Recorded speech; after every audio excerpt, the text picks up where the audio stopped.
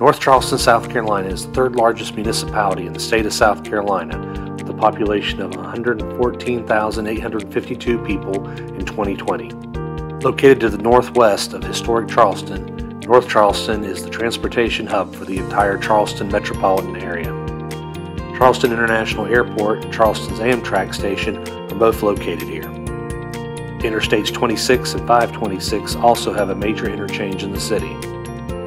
North Charleston is also the entertainment center for the area. The North Charleston Coliseum hosts sports, theater productions, and sporting events. Finally, North Charleston is the home of many corporate offices and production facilities, most important of which is Boeing's North Charleston Production Facility, which produces the Boeing 787 Dreamliner. I'm Michael Miller, and it's time for a dash cam drive through North Charleston, South Carolina on Dashcam Travels.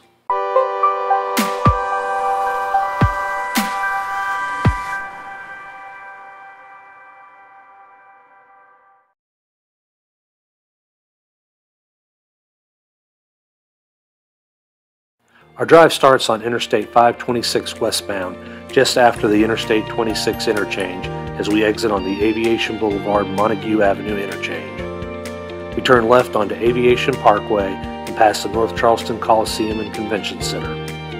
While not visible on the dash cam, Tanger Outlets is located to the left of Aviation Boulevard.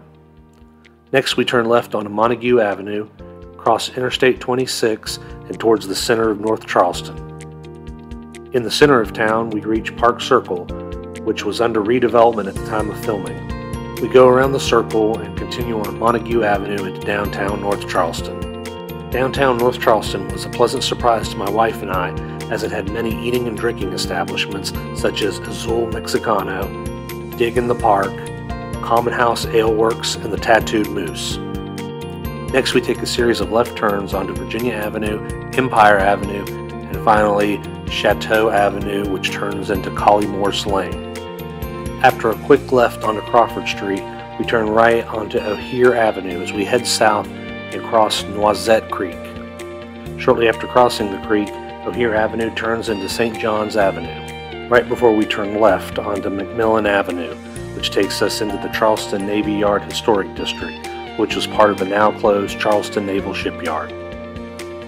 Next, we enter the Charleston Navy Officers Quarters Historic District before re-entering the Charleston Navy Historic District. We retrace our steps north, back onto O'Hear Avenue, and then turn left onto Buist Avenue.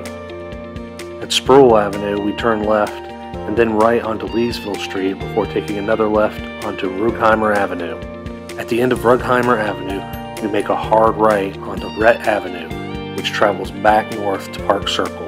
We go almost completely around the circle to Durant Avenue and travel southwest to the Mixson mixed use development. We end our drive after a brief tour of Mixson, where my wife and I were staying for the weekend. Thanks for watching.